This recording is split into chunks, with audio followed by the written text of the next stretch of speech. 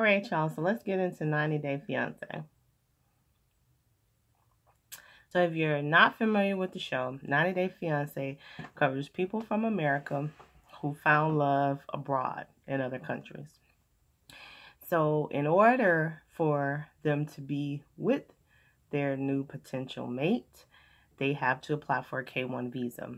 A K1 visa is basically a process to get someone from another country to America because they're going to marry someone from America in layman's terms. And they have to do so once they reach America, the time ticker starts. They have to get married within 90 days. So that's the premise of this show if you're not familiar with it. Um, and I will tell you right off the bat if you're new to the show, there's a couple different types of people. They all fall into one of three categories. You have your people that you're rooting for, you want to see them find love, you believe they're in it for the right reason. You have your people who you're side eyeing because you know they're really not in it for the right reason, whether it be, you know, a rich old man trying to get a young girl from the Philippines or vice versa, you know, somebody, you know, beautiful model from Russia is marrying this, you know, guy that you know she's really not into for a green card. And then you have your third group that you're really not sure if you're rooting for them, if you're side eyeing them, and it takes you usually the halfway through the season to figure out what they're really in it for. So usually they're within that three categories. So when we start going through this episode, I'll kind of let you know what I think about the couples thus far. So let's start with Annie and Robert. Annie is from the Dominican Republic. They never really said what her employment status was there or what she did for a living. All that we know is that um, Annie has a big family that she, you know, lives within the Dominic, Dominican Republic. And Robert is from America. Uh, she's 30 and he's 41. Uh, we know that Robert is a single father, has a cute son. I think he's about six or seven. Um, and that's kind of where the show started off. We're on uh, episode four, but I can kind of bring you up to speed on the background of these two. They actually met online. Then, after meeting online, Robert took a cruise that took him through the Dominican Republic. And he stayed in Dominican Republic for about a day. And they had about eight hours of time together before he decided that he wanted to uh, ask her to marry him. This is a common thread on 90 Day Fiance. Normally, just about everybody decided they wanted to get married in two weeks or less. You have some that, you know, dated for years or, you know, months, but the vast majority, it was very, very quick engagement. So that is where Robert and Annie are. Um, far as what you missed when she got to America, um, she was surprised to find out that he only had one bed for her, the son, and himself to sleep in. The little boy doesn't have his own bed. He lives in a one bedroom apartment. Um, he took her to a thrift store to go shopping.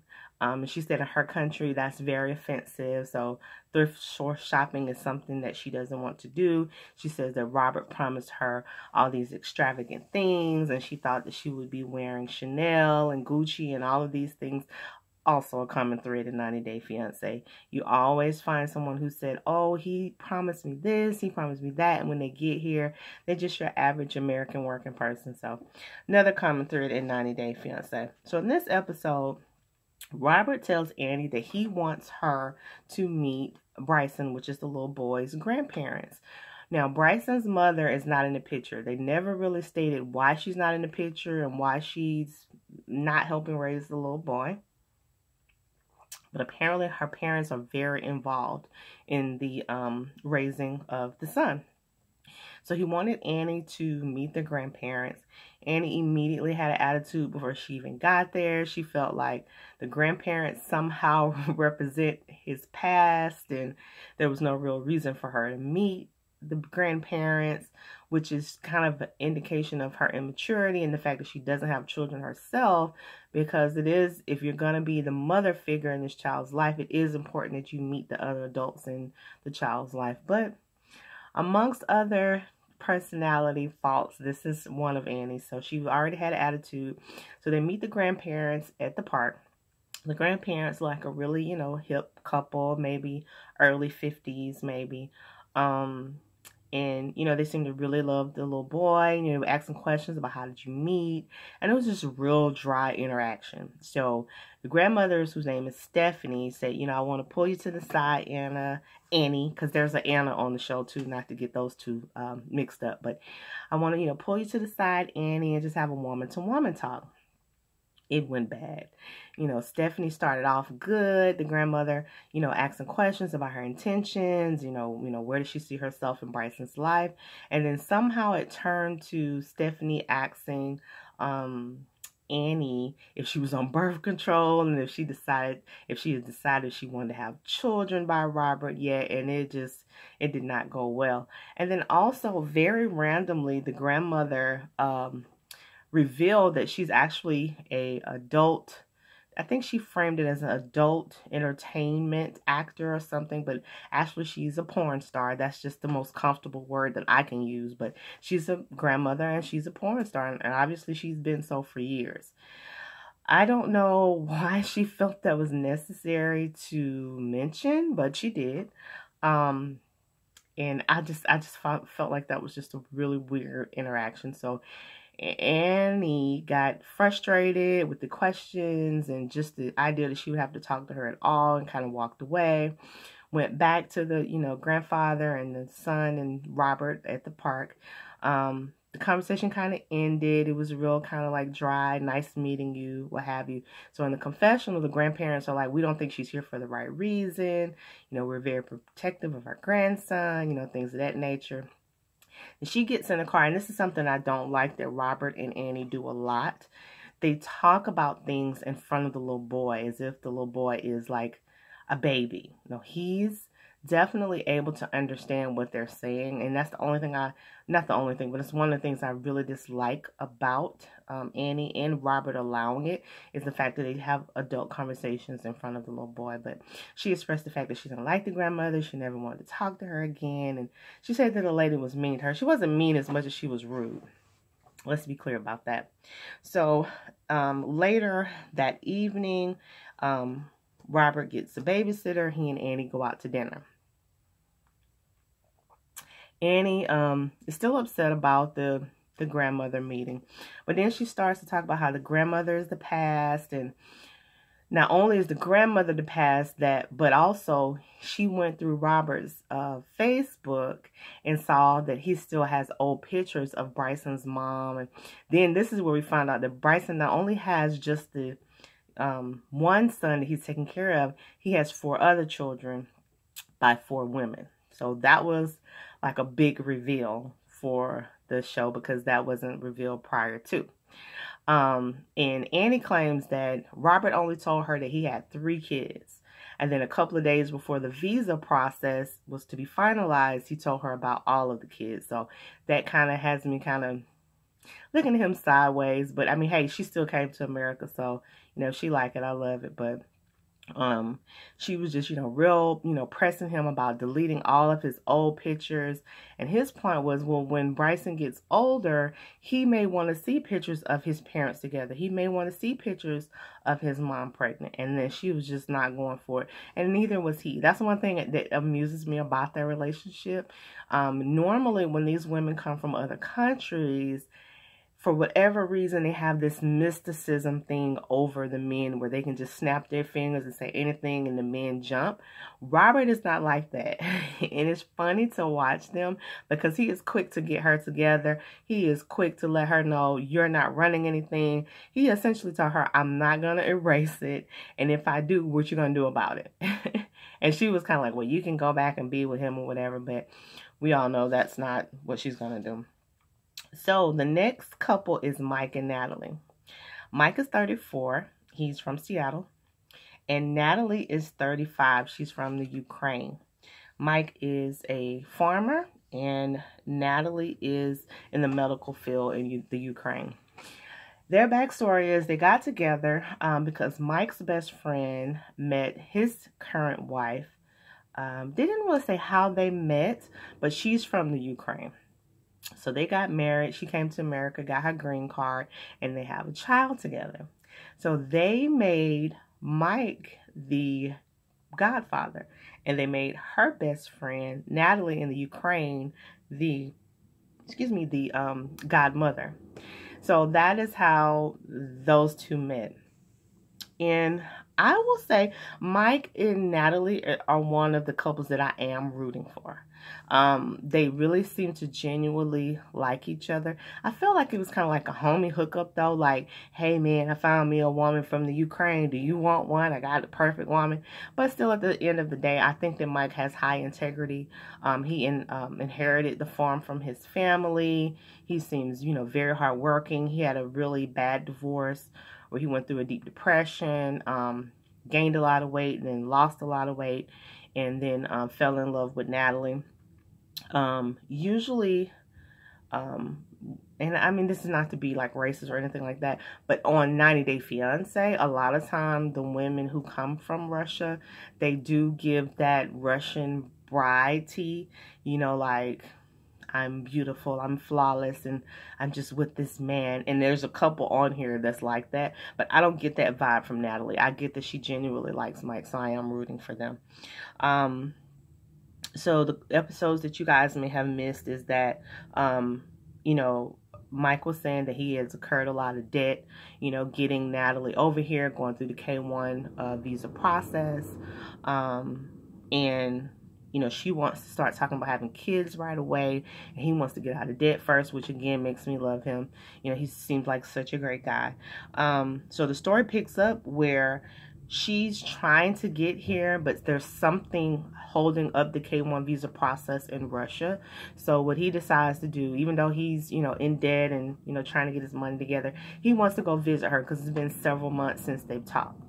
So he wants to, you know, go visit her and just reinstill in her that everything is fine. So uh, this episode, he's heading to Russia to meet her. Um, then they uh, switch to Natalie and her Russian friends.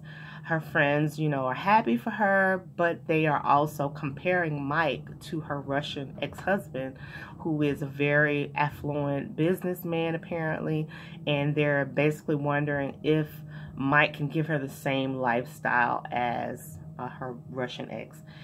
And, I, and this is why I say it's not good for women always to take advice from other women because all even if Mike can't provide her with the same lifestyle, the ex is a ex for a reason.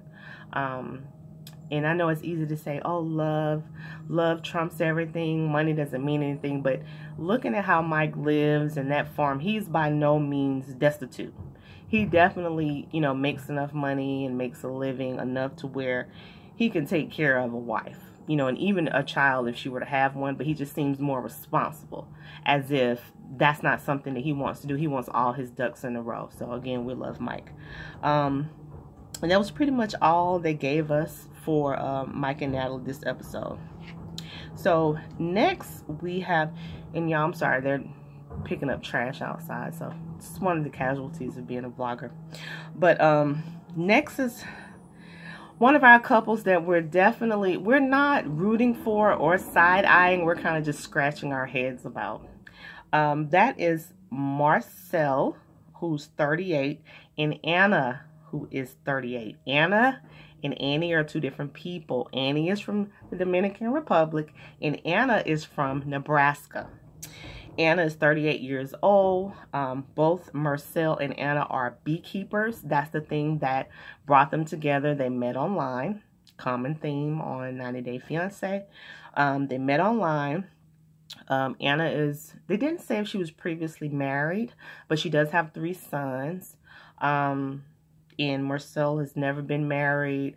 And he is from, oh my gosh, he is, I forgot to, um, I forgot to jot down where he's from, but he is from the UK. He is from the UK. I forget which country. We'll have it for the next review. Um, but he's from the UK. And their backstory is is is frustrating. Um, he his family does not know that Anna has three kids. In his culture, he's also Muslim in his culture is very frowned upon for a woman to have had children out of wedlock. So that's what makes me think that maybe Anna wasn't previously married because they keep saying that um, in his culture that it's frowned upon for a woman to have children out of red, wedlock. And um, So he's keeping her children a secret from his family back in the UK. They don't know, they know about her, but they know about her three sons. Her sons range from like 17 to 10. Um, but he's very sweet. There's a, a super, super um, uh, language barrier though. Like the only time they really can communicate clearly is through an app on their iPhone. Um, and that's how they communicate. Um, he says, you know, how to clearly communicate. Now, they do a lot of communication outside of that. Um, you know, he has he has an understanding of simple terms and vice versa. But to have an in-depth conversation with this man, Anna has to literally use an app to speak back and forth. Um, the kids are not super excited about the union, especially once they found out that they were a secret. That was the episode that you guys may have missed. Um, so this particular episode picks up on the couple um, out beekeeping. And Anna is just super turned on by the fact that Marcel is into beekeeping she's talking to him and you know trying to hold conversation while they're playing with the bees. He has no idea what she's saying. She has no idea what he is saying.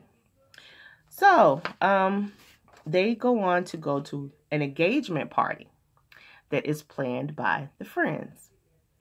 The friends have planned an engagement party because Anna has decided to you know, she has her friends in the mindset that, hey, we're going to get married. You know, this is my future mate. So, of course, her friends are throwing her an engagement party.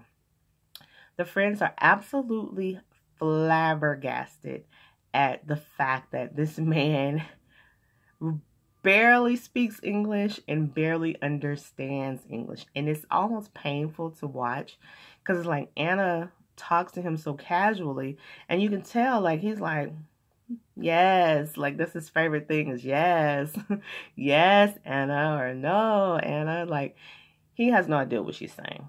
And, you know, a lot of people in her circle are like, I would never marry someone who I don't understand.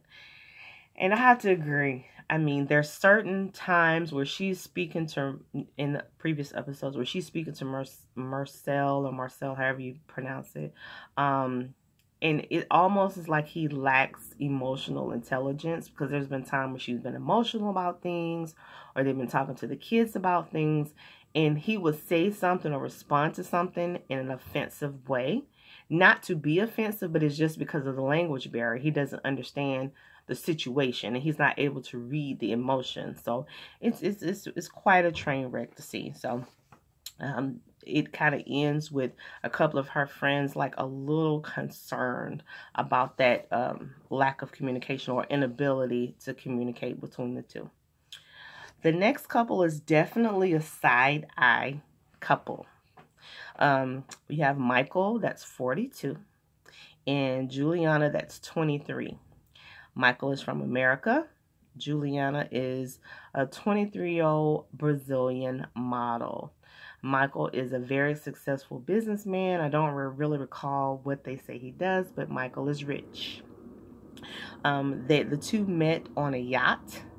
Um, supposedly she was there doing some model work and you know, he was just there, I guess, being an old rich white guy. Who knows? But that's how they met on a yacht. So from that time forward, over the last two years, now this is an exception to the rule. They have been dating for two years. Um, they decided to go through the K1 visa process. She actually got denied a visitor's visa, which is very rare. They would not let her come to America on a visitor's visa because they felt like there was a chance that maybe she was into prostitution. They didn't really get into that much. You know, she said she's never been a prostitute. He said he's never been a pimp. So they're not really sure where that came from. But the K1 visa process was the only way for them to get here um, when asked how much money Michael has spent on Juliana, he did not want to mention, but uh, based on some of the questions and some of the things that he talked about that he's done for her, it's probably in the hundreds of thousands of dollars so far over the last couple of years between travel, buying her cars. She has some of his credit cards, have maxed those out. So it's definitely one of those side eye um, relationships. However, I don't think Juliana is the classic um, trying to get a green card, gold digger type. She seems like a really, really nice girl.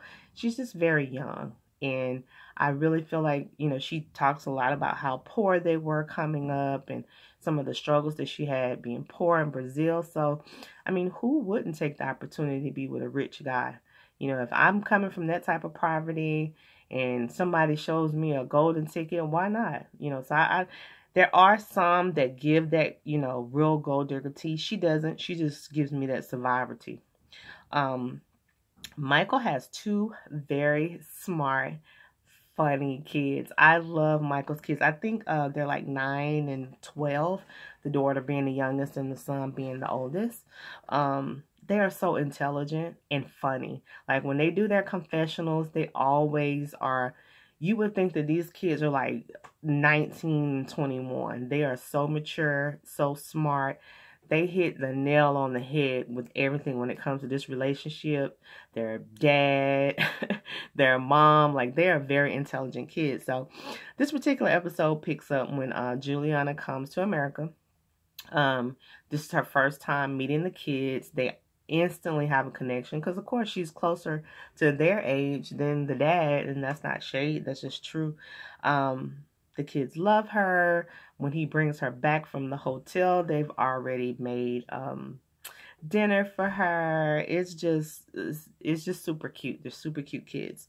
So um, this is also the dinner where the ex-wife is gonna come and meet her.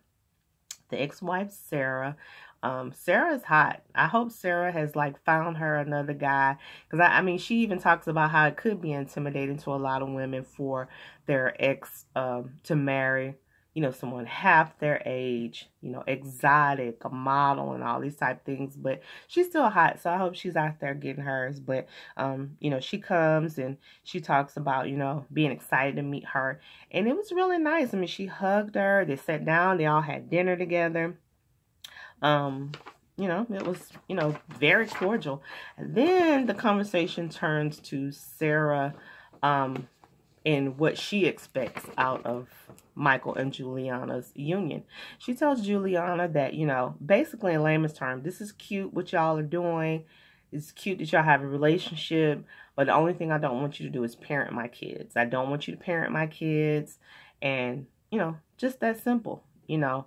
And uh, Juliana, she speaks really good English. There's a little bit of a language barrier, but um, she kind of got uncomfortable because the air kind of changed because Sarah seems really serious about the fact that you're not their mom. Like you're their dad's wife or fiance, but you're not their mom. And then it's funny when they cut to the confessionals, um, Juliana and Michael are not in the confessionals alone they're in the confessionals with the ex and they all look like someone just died. So this funny, happy-go-lucky first meeting obviously has changed into something else over time because that confessional, nobody was smiling, nobody was giddy, everybody looked like somebody just died. So it's going to be interesting to see the dynamics in that relationship for the rest of the episode. Now, let's talk about our next couple. Syngin and Tanya. Syngin is 29. He's from Cape Town, Africa. And Tanya is from Connecticut. They are really close in age. Syngin, uh, Tanya is 29 and uh, Syngin's 27. Um, they really didn't go into depth what Tanya does for a living. I know they said that she does a lot of um, um, social justice work. She goes out and does a lot of protesting on behalf of a lot of social issues.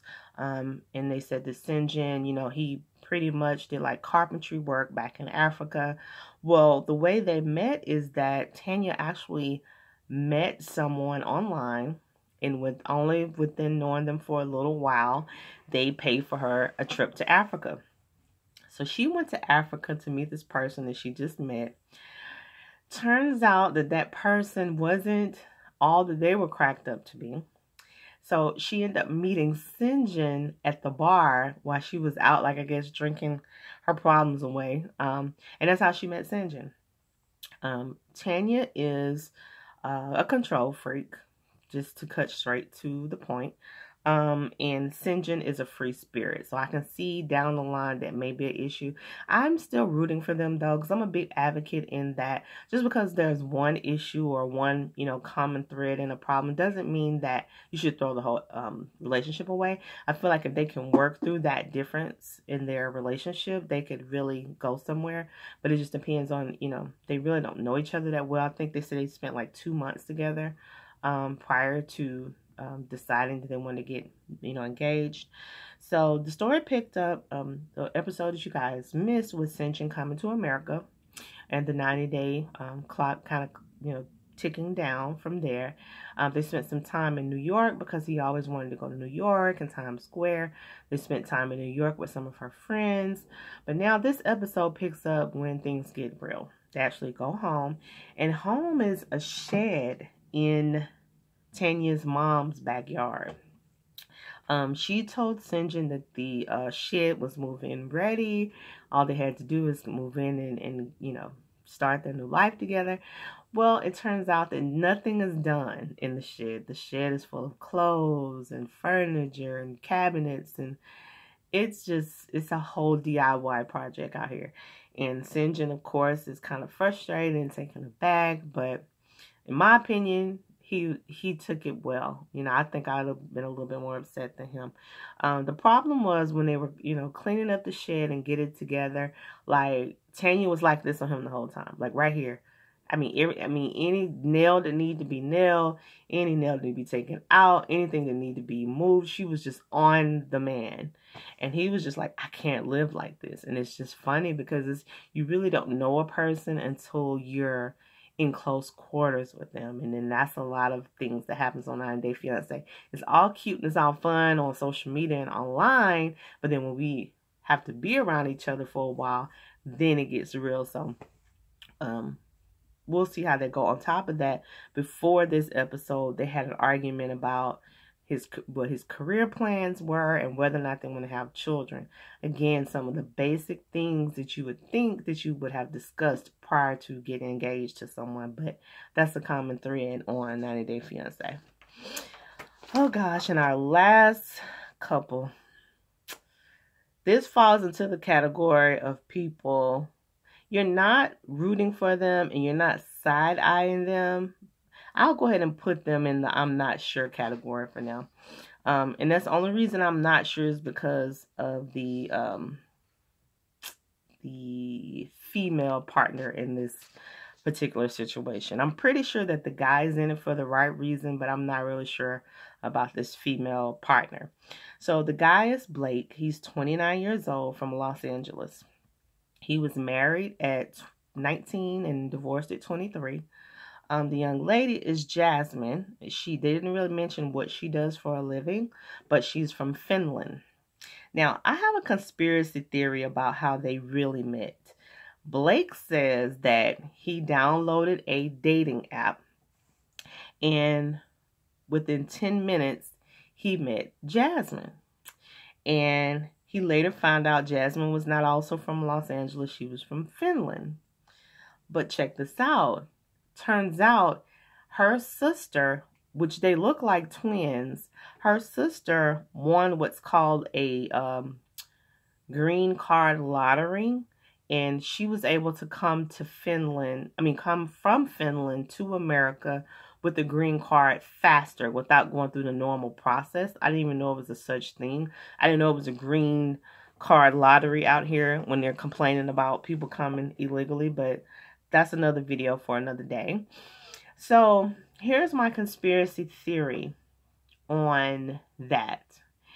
If the dating app was Tinder, which is a huge chance that it may be, I know for a fact that on Tinder, they only match you with people who are in a certain circumference it's not some radius, certain mile radius from you. And, and if I'm not mistaken, you can almost pick, you know, how many miles away you want people to be from you.